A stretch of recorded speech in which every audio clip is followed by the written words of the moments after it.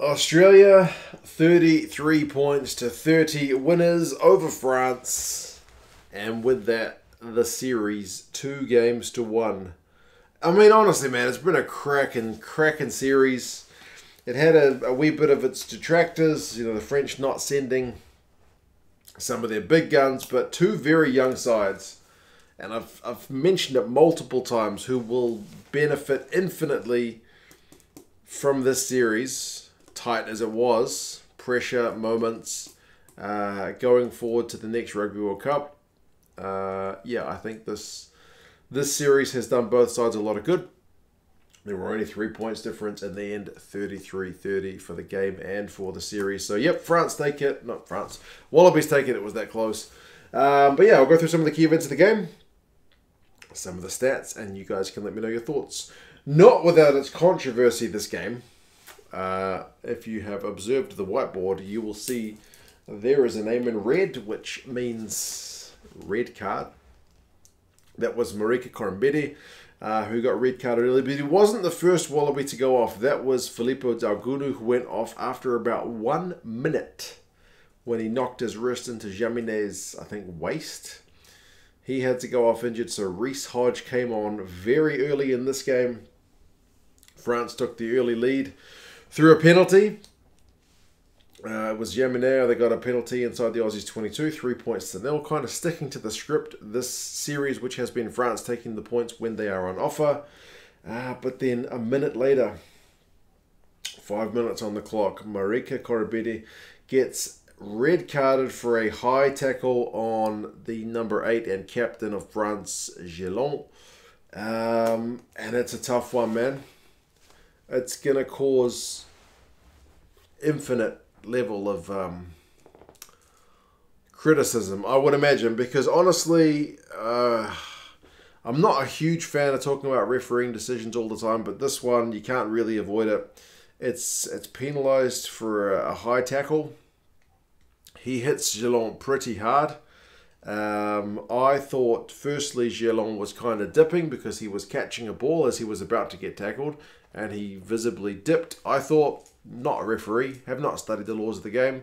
Um, yeah, but just seemingly from a layman's point of view, a rugby fan's point of view, seemed like he was dipping a bit. I don't think Marika was particularly high on him. Uh, I thought the initial contact was shoulder. I thought it was a yellow, personally, but um, yeah, he gets red. And it's made worse by the fact that Jelonch kind of theatrically grabbed his face and fell to the ground, which is not something you want to see in the game of rugby union. But either way, uh, it's a depressing moment where it's 14 on 15 for the majority of the game, 75 minutes, and you're thinking, man, that's going to be it. But interestingly, it's not. Um, seven minutes, France maul it. It goes well.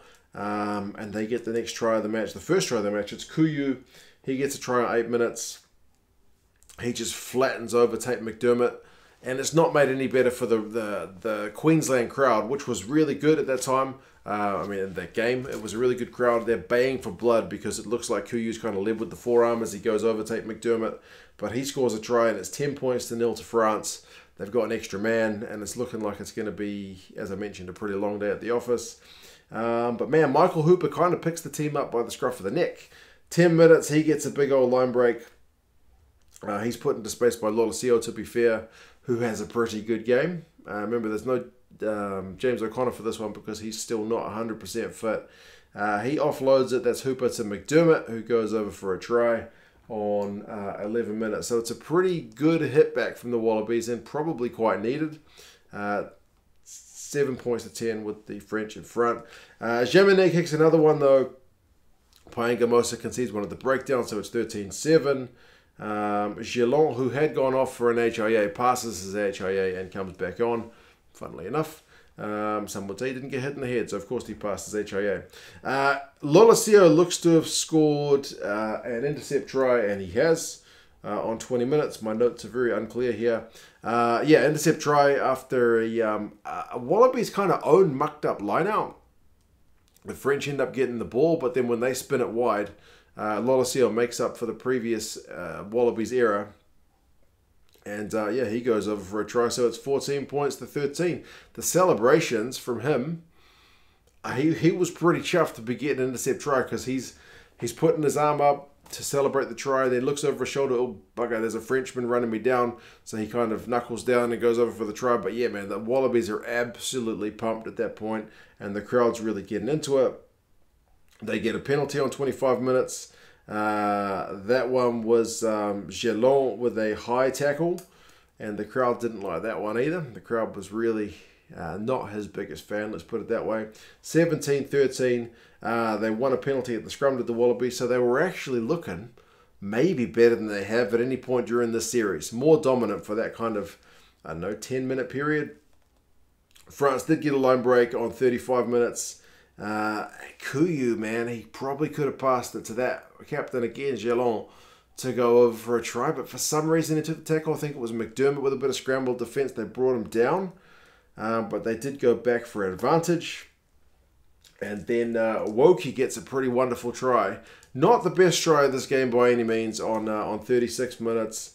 That one's Falatea going close. He taps it from five meters out, and from the next phase over, Woki kind of shows those go-go gadget arms to dot over for the um, for the try. He just dives over the ruck. So yeah, it's 20, uh, 20 points to to 17, so three point gap. Teddy Thomas does look to have scored another one, uh, but there's an intercept in the build up to the uh, knock on in the build up to that one.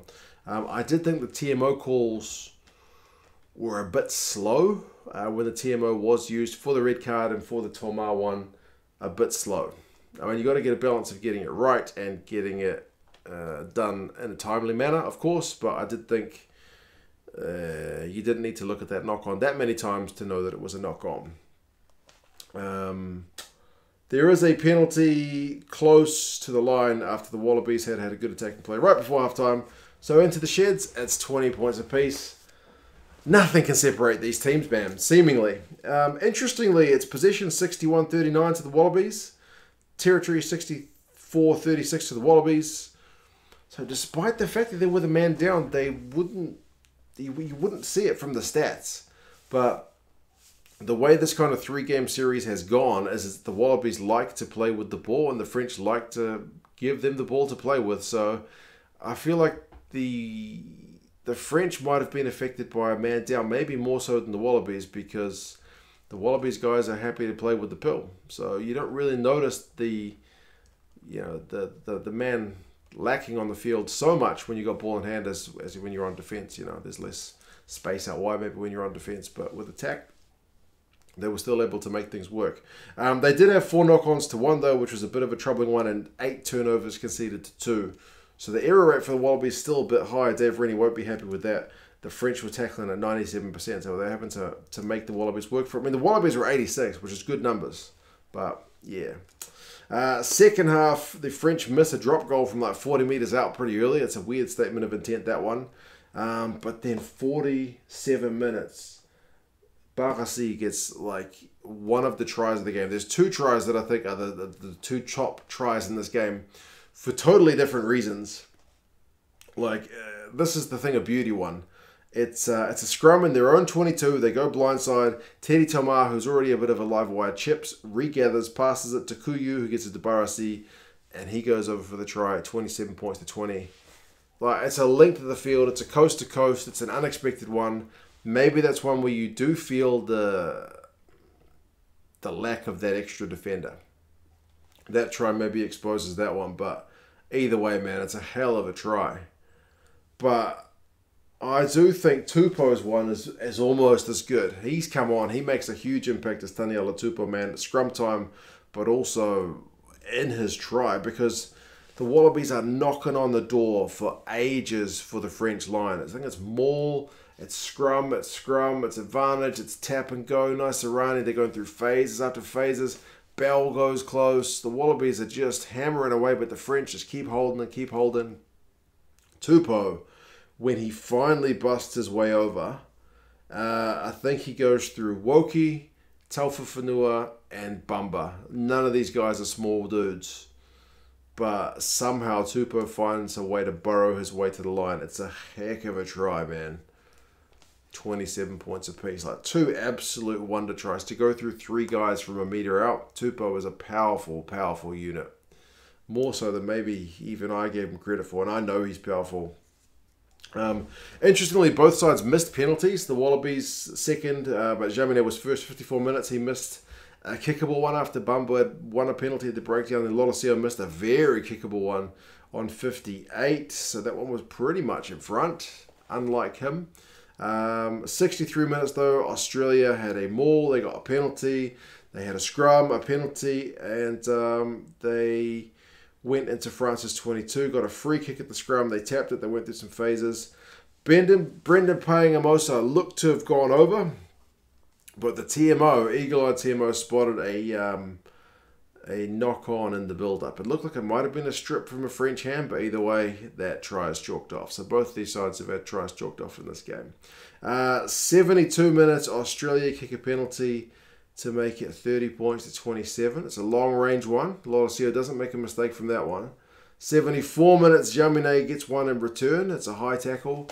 And I, as I was watching that game, I literally said, as the Wallabies were doing the restart, don't give away a penalty on the restart. And they did it a few phases later. It's, it's something, I don't know, about the Wallabies. I feel, like, I mean, a lot of teams can do it, but I feel like the Wallabies are especially guilty of conceding penalties immediately after they've scored. That was troubling. But they did manage to get one last penalty after the French knocked it on. Uh, they got a scrum, and their scrum won a penalty. Their scrum was honestly dominant once Tupou came on, and Bell, to be fair. It's not just Tupou, but anyway. Um, and they slotted that one. Not an easy kick for Lolesio. It's one he should be getting, but it's an especially uh, mentally, you know, pressurized kick, and he nails it. So 33 points to 30. With like a minute and a bit to go, the Wallabies opt to run the clock down, but sure enough, they concede a breakdown penalty pretty smartly, man. Like a few phases into it, so they they kind of failed to to run out the game then to, to close it down, but France don't opt for a very difficult penalty around about halfway and to the side. They um, they kick for touch, they maul it, and where the Wallabies do excel here is with their maul defense. It's phenomenal, and they get a turnover, so that's pretty much game over there. So you won't get many more moments like that where you can put your kicker in a situation where he has to kick a penalty to win a game or to even up the game you know, with five minutes to go. That's kind of experience in the bank at this level, which you can't, you know, you can't just distribute anytime you want. You can only get that through the real deal. So that's why I'm saying both these sides, I think, will be absolutely wrapped and uh, benefit from from the way this series played out. Um, yeah, the Wallabies to win with a man down for that much of the game is, is a huge Herculean effort, man. So congratulations to them. For the French to put in an effort like this without most of their best players is also a hell of an effort. So it speaks to the depth in French rugby right now. I think there's positives to look from from both sides. Maybe not so much the refing at times, but um, yeah, very very happy days. Run meters finished 246 to 281, but the French had less ball, uh, 36% possession and 33% territory. So the Wallabies pretty dominant, but as the series has kind of gone on, not really able to the Wallabies dominate the, the stats, like, but aren't able to generate more from it. So it's again the French doing less with more. That's kind of their their tact. Um, turnovers conceded 11 to 7 with the Wallabies having more. Um, penalties conceded 14 9 with the French conceding a few more. Scrum time again would have been responsible for a few of those. Uh, the Wallabies ended up tackling at 86%, which is pretty encouraging as well. Hooper was everywhere uh, at the breakdown as well. But the French are at 95%, man. It literally took Tupou barging over three guys to get that try. Um, Azdagor has 17 out of 18 tackles. That's a good effort from the big Frenchman. And uh, Barlot, the hooker, has 14 from 15. Tate McDermott, three defenders beaten. Looked good in his starting effort, I thought. Um, and uh, Jaminet has three defenders beaten, 72 run meters for his side as well. So, um, yeah, it was interesting with um, with Swinton there as well. I thought he was he added a bit of value.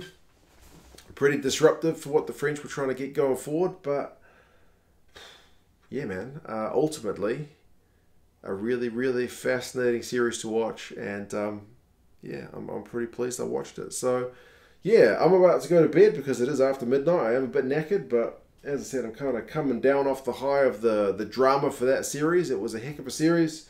Congratulations to the Wallabies. Um, they'll have a pretty stern test with the All Blacks shortly, but they will go into it pretty battle hardened after a, uh, a tough French series. The All Blacks may be a bit underdone against the Fijians and Tongans. We will have to kind of wait and see how that plays out. But anyway, you guys let me know your thoughts on this game and this series. And um, I will talk to you guys again soon. See you later.